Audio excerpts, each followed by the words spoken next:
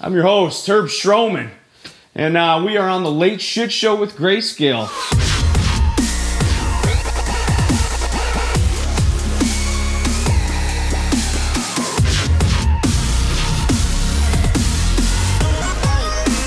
This, dude, are you serious?